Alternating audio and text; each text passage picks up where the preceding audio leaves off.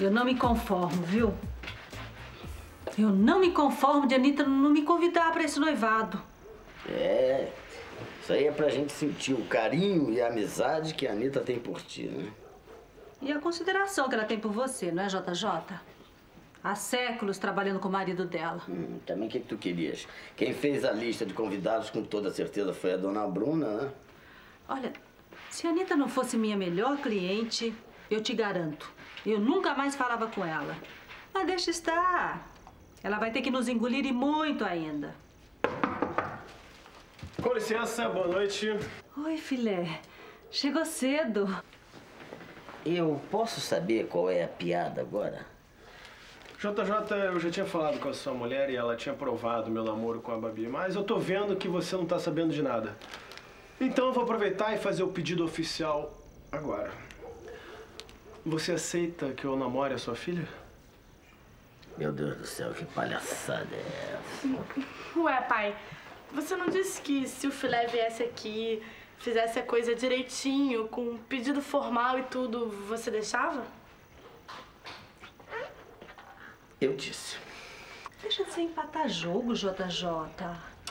Os meninos estão fazendo tudo nos conformes. Olha aí, vão até na festa juntos. Como um casalzinho, dois pombinhos. Hum, hum. Tudo bem. Vamos fazer o seguinte. Eu vou te dar um voto de confiança. Mas esse namoro vai ter que seguir as minhas regras. Correto? Daqui pra frente vocês já podem até sair juntos, mas com a Sema do lado. Ah, não. Pelo amor de Deus, pai. Papel de vela, não. É assim ou nada feito. Sema, aceita, vai. Por favor. Bom, é o seguinte, de maneira alguma, seu Rangel, copo nenhum sobre os móveis, a bebida é sempre muito geladinha, eu queria que você circulasse assim de 5 5 minutos. Danivete, por favor, eu acho que esses guardanapos aqui não estão bem, bem dobrados. Dobra de novo pra mim, por favor. Aqui tem mais um. Bora, dobra esses todos. Então, doutor Xistos, aprovou a decoração? É uma pena que essa festa seja para quem seja. Mas está muito bonito. A casa assim me recorda os tempos em que aconteceram grandes festas nesse salão. Noites de alegria. Muito diferente do que eu estou sentindo agora. Bom, pelo menos eu teria a companhia dos meus netos e a sua, não é, dona Madalena? Eu vou cuidar das crianças, ajudar a Quitéria se ela precisar. Bem, eu vou trocar de roupa, os convidados já devem estar a caminho. A senhora não vai se vestir também? Eu estou curioso para ver o seu vestido novo. Doutor Xistos, eu não posso. A, a, dona da festa, a doutora Bruna, faz questão que eu me apresente com o uniforme de governante. Eu não posso.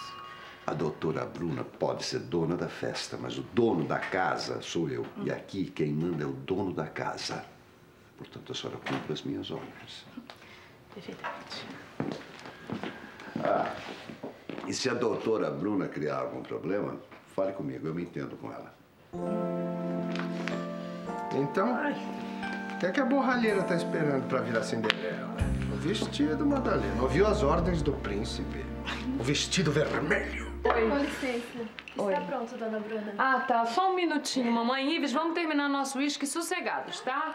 Rita, bota numa sacolinha pra mim, tá Sim, bom? senhora. Então tá. O que é? Alguma encomenda na noite do seu noivado? Não, é um presentinho, um presentinho pra governanta dos Xistos. Ela vai gostar. Ah. Ai, meu Deus.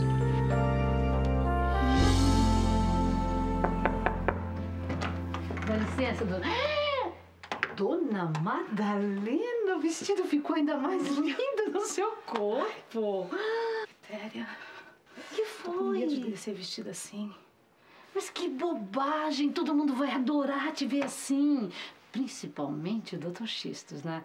Bom, todo mundo uma vírgula. Te prepara, porque a noiva vai odiar de te ver assim.